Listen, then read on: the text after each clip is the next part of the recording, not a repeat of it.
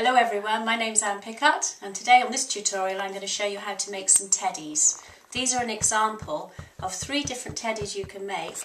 Very, very similar, a few little tweaks and changes and you've got a completely different looking bear. First I'm going to show you some equipment that you'll need to actually make these little models. You don't need very much so you haven't got to rush out and buy a lot. Basically you need raw spaghetti, a kitchen knife, a water brush is really, really useful, but if you haven't got one, just use a paintbrush and dip it into water. We've got a little tool here called a quilting tool, and this is a pointed bulbous cone tool, sometimes called a PME number 9. This is really essential, but if you haven't got one of those, just use a paintbrush that's got a point on the end. We've got cocktail sticks, we've got a couple of little cutters that I'm going to use, little heart cutters that I'm going to use on my cupcakes um, when I show those to you later. And now we've just got sugar paste here, already coloured. The one I use is Regalice. It's the one I find works best for modelling and I've got these four colours. We've got grey, teddy bear brown, chocolate brown and black. Now the next thing you're going to use, which is absolutely essential, is my unique guide to sizes. Now this is in all my books and DVDs and it shows you the size of every part of the model. Before you make it, you work it into a ball and then know it's the right size for a head or a body or an arm. And I'll be using this as I make my models and you'll be able to see how it works. Now the first thing we need is a ball of icing and this is size A. Now I know it's size A because I'm going to check it on this blue circle which says there A. If it roughly fits inside, it's the correct size. It doesn't have to be exact, so don't spend ages tweaking to try and get it the exact size. Now to make this into a cone shape, which is the shape of the body, you put your ball of icing in your hand, you put your fingers on top of each other so they match. Middle finger, small thumb, and you close one side of your hand.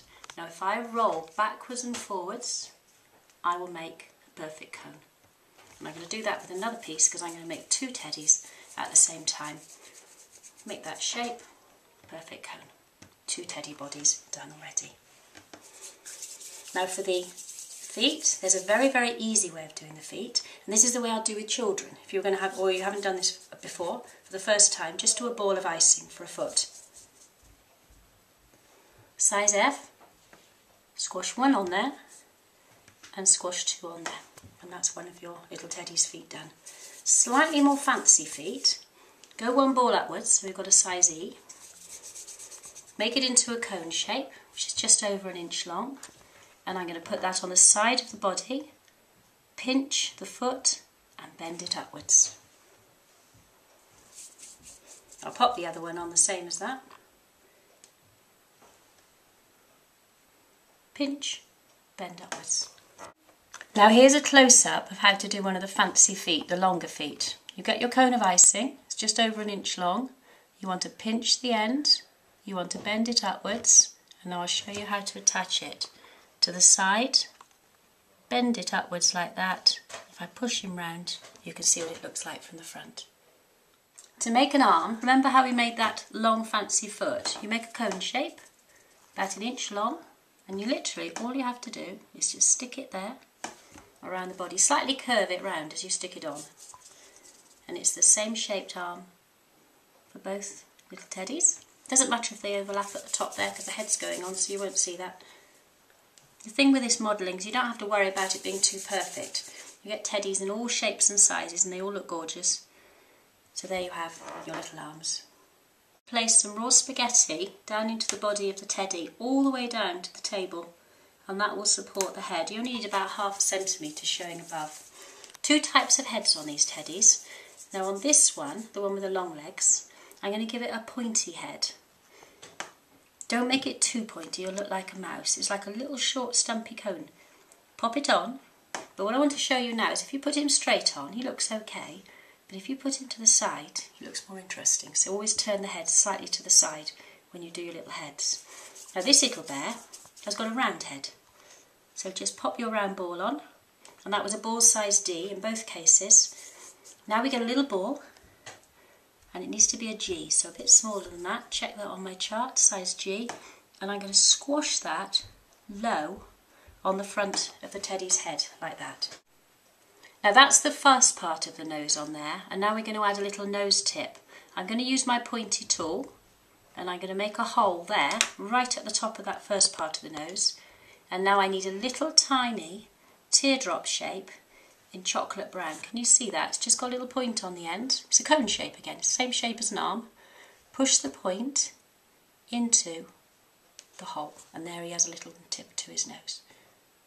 We're now going to make the ears and the ears are a size H so check that on your guide to sizes and now what I'm going to do is I'm going to squash it. Now if you look at those four little shapes along the front that's your ball, that's the squash and the next thing I'm going to do is pinch it. So if you just watch this you're going to pinch that into that shape.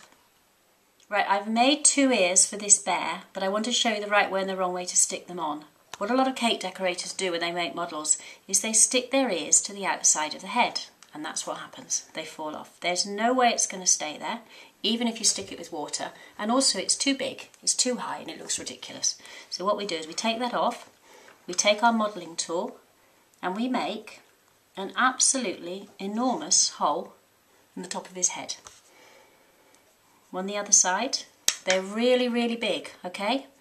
And then you take your little ear, you pop it in that hole, half of it disappears in there.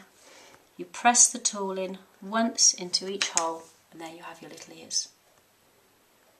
I'm now going to mark the eyes on these little bears, and this is black paste colour. It's actually licorice black, and it's a lovely consistency. You don't want to use a liquid colour, it'll be too wet and it won't make a deep eye shape.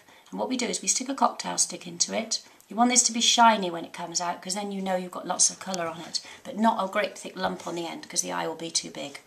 Now I've got two teddies here and I'm going to show you the right way and the wrong way to do eyes. If I do dot eyes, this is what happens. I go in from the front and I mark two little dots and my teddy bear does not look very friendly. If I do long eyes, I come down at this angle and I rest the stick against the face of the teddy. I'm going to give him two little eyebrows and I'm going to use a little bit of black that's left on the end of the stick to do his nose. Now look at the difference between these two. And what I'm now going to do is change this one from a nasty teddy bear into a nice teddy bear just by making those eyes slightly longer. Now there's a few ways you can add little extras to these little bears. One is, is with this super little quilting tool which is used, it's like a little stitching wheel and you can run it up your little animal, across his face, up the side of his legs, let's turn him, down there, up that arm and look, oh, I'll do one up his tummy as well. And there you have a little stitched effect on that old bear. Have a look at this stitched effect that I've done on this little teddy. It really is very, very quick and easy to do and you just roll the tool gently all over the surface of the icing before it goes hard. Another option is to mark the paw pads on this little bear. And before I make him fluffy, I'll show you how to do that. One, two, three, one, two, three. Turn the tool round and do a big round one in the middle. There we are. Can you see what I've done to this little bear here? I've started to make him look all fluffy and ruffled, and this is how you make any animal look like it's kind of woolly or hairy. Just use a cocktail stick and just gently scratch the surface of the body with the tip of the cocktail stick. Don't go too near the eyes because it might distort the shape. A little bit at the top of the head. There we are.